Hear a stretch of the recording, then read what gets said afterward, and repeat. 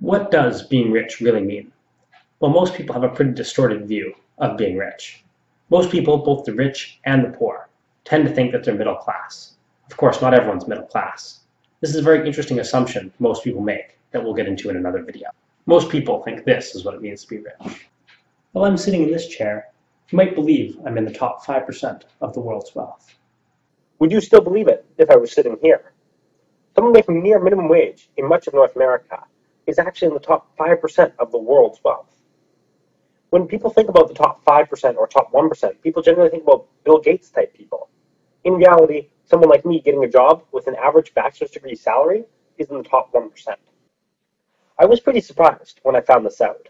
I tend to think Gates at the top, homeless people at the bottom, me somewhere in the middle. But money is really unfairly spread around the world. Because of where you were born, you and I are easily in this red area at the top, meaning we're among the world's wealthiest people. There are literally billions of people who are worse off. Half of them live on less than $4 a day. You might have traveled to a poor country and know that a dollar goes a lot further there, so it's really not that bad. But the $4 a day number is adjusted for how much you could buy in the United States for that amount of money. So think about how much you could buy with $4. Maybe one meal from a fast food restaurant? But what about rent, or healthcare, or food for your children? If you live on this little money, you can often only afford a bowl of rice a day. And if you get sick, you can't even afford a 50 cent treatment. I didn't know this for most of my life, since I was always comparing myself to my friends. But now I realize, compared to the world, I'm doing really well. It makes sense when I think about it.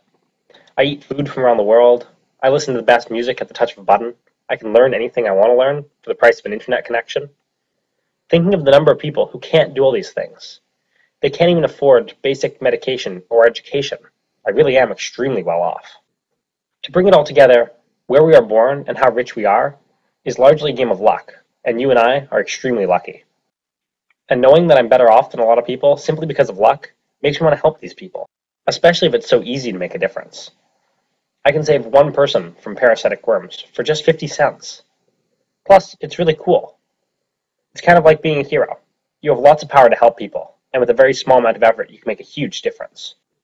Check out the links below for things you can do with your fortune, and subscribe to our channel to see other videos that talk about this and related content.